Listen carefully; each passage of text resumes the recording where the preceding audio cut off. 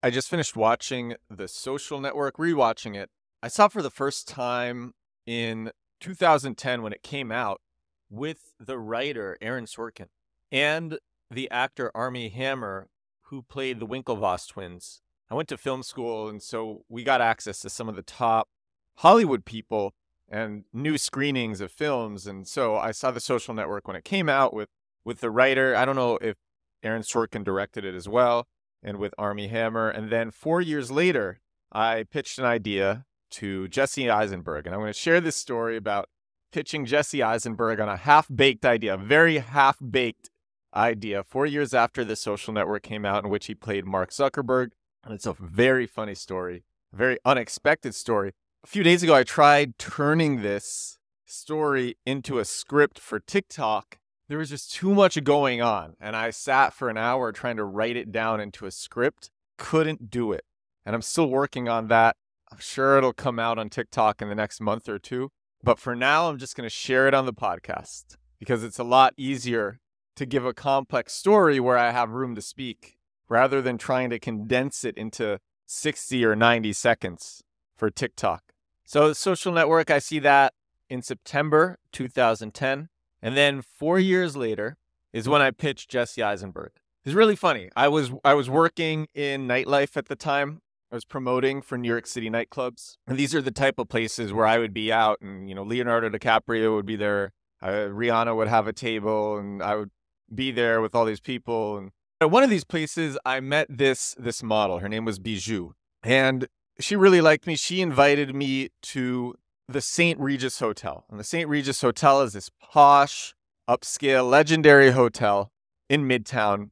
And I had no idea what to expect. I, I, was just like, yeah, it'll be an adventure. Sure, why not? I'll come I'll come out. And so I go meet Bijou, and she is crazy. I met her at this club called Tokyo. And when I, I meet her, and we we talk for, I don't know, maybe five minutes. And then when I meet her at this hotel, she is insane. It's all over the place. Honestly, I, I am not going to say her full name. I would describe her as a wannabe socialite and not actually a real model. That's and I'm not saying that to be judgmental. That's actually the like reality. But she had this friend come who was an actual model, and this guy, his name is Javon, super handsome dude, crazy cheekbones, and he's a real model. You can you can just tell by looking at him. And he was so entitled, and he was so suave. And so I'm sitting with Bijou and Javon, and we're chatting at the King Cole Bar at the St. Regis Hotel, 2014. The ex- exact date, I have this in my journal, was February 10th, 2014. And then Bijou goes to some other table to talk to some rich dudes, like probably, you know, 100 millionaires or billionaires, because those are the types of people you would meet at the St. Regis Hotel. She, so she goes to this table. Is so funny. And I'm talking with with Javon, and we're starting to brainstorm ideas because media ideas. Because I had a string of viral videos on YouTube around this time. I, I say this on the show often. I was an early viral video producer on YouTube. Back when it wasn't as common as it is now to have videos that get millions of views, 10 years ago, it just really wasn't as common. Obviously, it still happened all the time, but just not to the extent that it does now. A million views on a video is, is it's cool, but it's not a big deal. You get that on TikTok, you get that on, on Instagram Reels, get that on YouTube. You know, I think part of it was there weren't as many streaming platforms in 2014 as there are now. Now there's so many streaming platforms and so many more people on the internet, so many people online. But I, I this was unique about me. This is this thing that was unique about me was that I had these viral YouTube videos. So we're brainstorming media ideas. One of the things that we come up with, mostly me, was uh, Twitch was starting to get popular around this time, if I remember. So we had this idea where celebrities would play video games for charity. And it was a half baked idea. And we came up with it literally there at the King Cole Bar at the St. Regis Hotel. But the idea basically was gaming studios. And I, I did not have a lot of business experience at this time. I hadn't even really started learning search engine optimization, or I, I had just started. I don't remember exactly. So I didn't know much about tech. I didn't know much about business. I never really pitched anyone on a real business idea. I pitched TV executives on video ideas, but never somebody on a real business idea. This is years before I would go and pitch a room full of some of like the wealthiest investors from China on a crypto gaming system, which is something I actually did. I, I went on after after Gary Gensler from the SEC. I, I literally spoke right after him. After I would pitch top VCs, which is which I've done. After I give crazy presentations at Microsoft. Years and years and years before all of that. But yeah, the idea is the, the gaming studios would pay celebrities to play their games, and there would be ads on the celebrities playing the games, and the ad revenue would go to charity. And so the celebrities get paid and they get and they play video games and charities get money.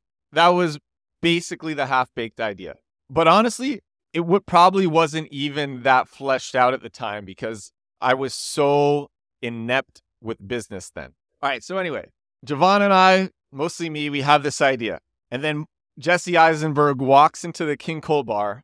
He gets a table off at the side and he sits down reading a book. We're like, oh, that's Jesse Eisenberg and Javon. And Javon, this is the craziest part of the whole story. So Jesse Eisenberg, four years before, played Mark Zuckerberg in the social network. And Javon, instead of calling him Jesse, starts yelling over to him from our table on the other side of the bar, and there are people around. And Javon, this striking male model, just doesn't care. And he's like, hey, Mark, Mark, yes, Mark, Mark, come over for a second. Mark. And he's gesturing Mark. He's gesturing Jesse Eisenberg to come over. Mark. He's yelling, calling him Mark. Even though he played Mark Zuckerberg, he's Jesse Eisenberg. Mark. And Jesse Eisenberg actually comes over. And instead of correcting Javon, and he's not, instead of being like, hey, my name is Jesse, not Mark, he's just like, what can I do for you? And Javon is like, we got to share this idea for this startup that we have. this idea that is like 10 minutes 10 minutes old and Javon starts pitching Jesse Eisenberg and he's doing a horrendous job. He is getting everything wrong. So I jump in and I'm like, no, no, no, no, no. This is how this is how it would work. And I do my I do my best. I am not experienced. The idea is half baked. And Jesse Eisenberg is like, this is never gonna work. I wrote down exactly in my journal what he said. It's really funny uh, what I wrote. I wrote, Jesse brought up the important point of saying that money wouldn't be enough of an incentive for the celebrities to sit down with these games for a few days, something we hadn't considered. Then his guest came and he had to leave us. You know, it's kind of funny because I think two years later, all these paparazzi took pictures of Justin Bieber playing Pokemon Go. Years after that, Drake would go and stream playing video games with Ninja. Celebrities are normal people. They like playing video games like other people. I actually think this idea is not terrible. I was thinking how it could work now, but at the time, you know, I was I was a kid, did not know how to pitch anything, not know how business worked. That was my chance. That was my chance to pitch Mark Zuckerberg, to pitch Jesse Eisenberg. The the biggest takeaway with this whole experience is how powerful entitlement is. That I will say is the biggest takeaway. Because Javon when he yelled over to Jesse Eisenberg and called him Mark and then said, Hey, sit down for a second, was so entitled. Honestly, Javon was kind of like the caricature caricature of a male model portrayed in the movie Zoolander. If you've ever seen that movie, has a lot of male models. It's a it's a comedy movie. And the caricature of male models, you can just search Zoolander best scenes on YouTube and you'll see what I mean. And that's kind of what Javon was like. But it got Jesse Eisenberg over to our table. Something else that I wrote was Jesse was paying close attention. He was really listening. He was listening intently. And I think a lot of that is because Javon was so entitled. We were at the right place where Jesse didn't know who Javon was, and he was holding himself in a completely entitled way. And it's a really powerful thing. So believe in yourself, Believe in your worth. So many people undervalue themselves, and you'll have your shot at pitching Mark Zuckerberg someday. This is episode 197 of The Edward Show. This is my daily growth hack and growth marketing podcast, but it's also The Edward Show, and I share stories from my life, from Edward's life, from my life. This is one of them. It's snowing outside here in Poland, and it's a great day. It's a lovely day. I'm about to go to lunch with some guy who said he had the number one NFT collection on OpenSea. It's going to be an interesting lunch. Looking forward to this at a very nice restaurant here. And I will talk to all of you again tomorrow. Bye now.